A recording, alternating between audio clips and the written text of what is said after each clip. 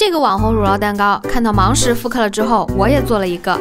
但是你知道这样一块蛋糕，甜品店赚了你多少钱吗？Kiri 的奶油奶酪，两百克，二十六块八。室温软化之后，搅打至顺滑，再准备三个鸡蛋，三块六毛九。十五克砂糖，两毛八。和蛋黄一起搅拌均匀，再加入十五克玉米淀粉和十克低筋面粉，都是白捣的，一共四毛八。继续搅拌成这种丝滑的状态，少量多次加入牛奶一百三十克。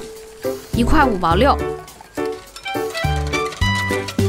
搅拌均匀之后，放到锅上隔水加热，加热到六十到七十度，稍微有点粘稠的时候关火过筛，再加入四十克安佳黄油，四块一毛二，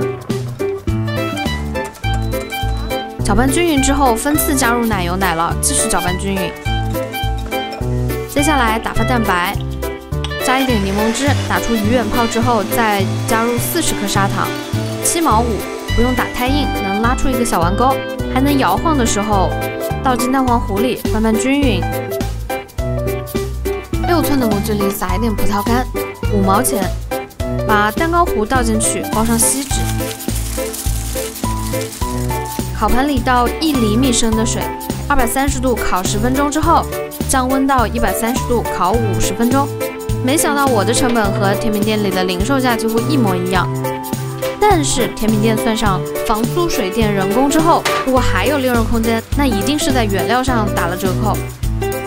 自己做的虽然便宜不了多少，但是材料更放心，吃自己做的蛋糕也会更有成就感。所以你会在家里做甜品，还是选择去店里买呢？